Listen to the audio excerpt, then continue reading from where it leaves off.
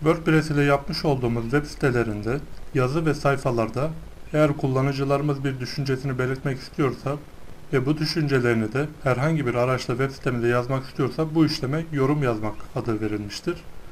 Yorum yazabilmek için abonelerimiz mutlaka üye olmak zorundadır. Eğer üye olmazsa yorumlarını siteye dahil edemez.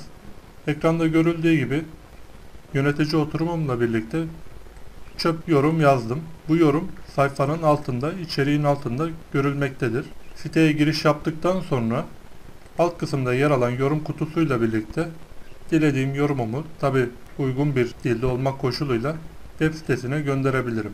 Bu yorumlar da site yöneticisi tarafından ya onaylanır ya da onaylanmaz. Onaylanması halinde içeriğiniz yazının altında görünecektir.